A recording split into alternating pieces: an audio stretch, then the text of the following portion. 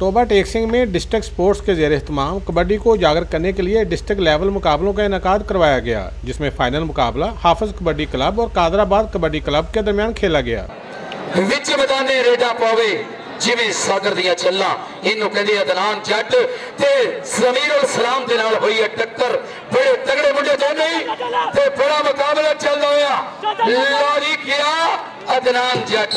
دونوں ٹیموں کی جانب سے زبردست انداز میں ایک دوسرے پر تابڑتوڑ حملے کیے گئے۔ میچ کے دوسرے ہاف میں حافظ کبڈی کلب نے عمدہ کھیل پیش کر کے مخالف ٹیم کو 26 کے مقابلے میں اکتالیس پوائنٹ سے شکست دی۔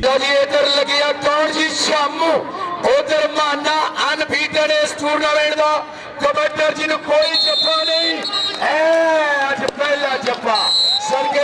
میچ کے استعمال پر مہمان خصوصی صوبائی وزیر انسداد دہشت گردی ایوب خان گادی نے جیتنے والی ٹیم کو تیس ہزار اور رنر اپ ٹیم کو بیس ہزار اور ٹرافی سے نوازا۔ کیمرہ مین شرنجم کے ساتھ سلطان محمود، توبہ ٹیک سنگھ۔